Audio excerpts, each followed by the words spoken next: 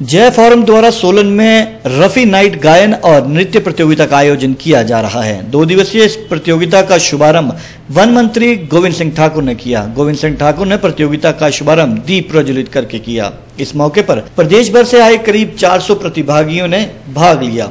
इस मौके पर वन मंत्री गोविंद सिंह ठाकुर ने कहा कि विजय फॉर्म संस्था पिछले कई वर्षों से हिमाचल में छुपी प्रतिभाओं को निखारने का कार्य कर रही है। उन्होंने बताया कि संस्था के इन प्रयासों की वजह से आज कई कलाकार मुंबई तक अपनी छाप छोड़ चुके हैं। उन्होंने बताया कि इस तरह की प्रतियोगिताएँ आयोजित होती रहनी चाहिए ताकि कलाकारों को अपनी प्रतिभा दिखाने और निखारने का मौका मिल सके। इस कार्यक्रम के आयोजकों को हार्दिक बधाई देता हूँ कि रफ़ी नाइट के नाम पर विजय फॉर्म द्वारा यह आयोजित किया जाता है और गत आठ वर्षों से आप इस प्रकार के बच्चों के, यानी सांस्कृतिक कार्यक्रम करते हैं। और अभी मुझे आपने जानकारी ये दी है कि यहाँ से निकला एक बच्चा अंकुश भारद्वाज जो इंडियन आइडल में बॉम्बे पहुँच चुके हैं।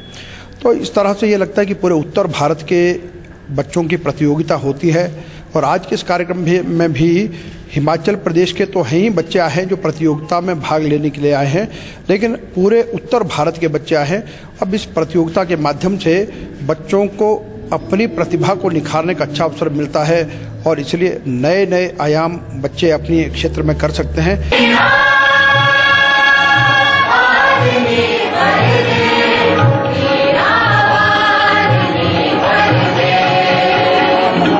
Yeah, we are what should be.